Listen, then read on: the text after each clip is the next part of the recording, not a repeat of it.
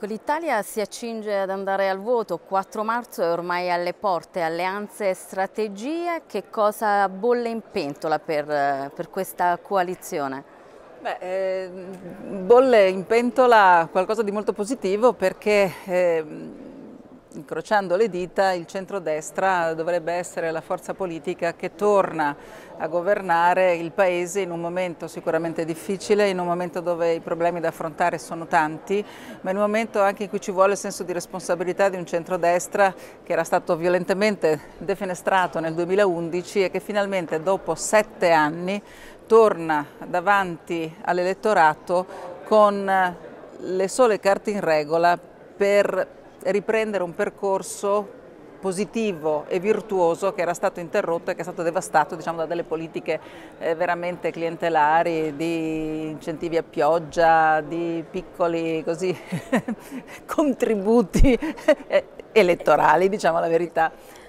Gli ultimi sondaggi vedono appunto il centrodestra che, che vola, però il primo partito resta sempre quello del Movimento 5, 5 Stelle. Com'è possibile? Come se lo spiega? È possibile perché, se mi permette, io la correggo al momento, ma siamo ancora a, a, diciamo così, in una situazione a freddo, prima che parta veramente la campagna elettorale, il primo partito purtroppo è ancora quello dell'astensione.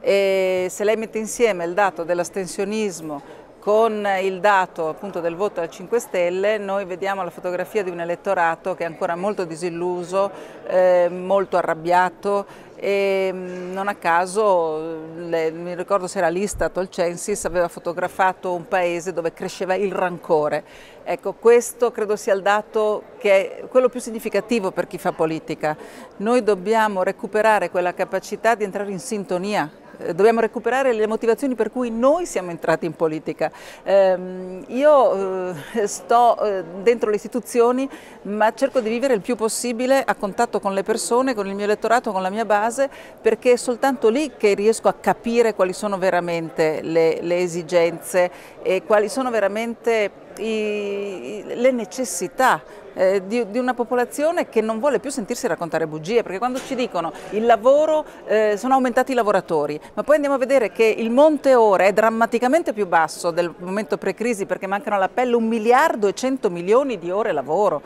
Allora come fai a raccontare eh, queste bugie? L'elettorato se sente raccontare queste cose perde fiducia in tutta una classe dirigente e noi dobbiamo invece recuperare la fiducia ad una classe dirigente che non è fatta neanche soltanto di politica, ma pensiamo a quello che hanno combinato alcune banche, pensiamo a quello che hanno combinato ehm, alcune università.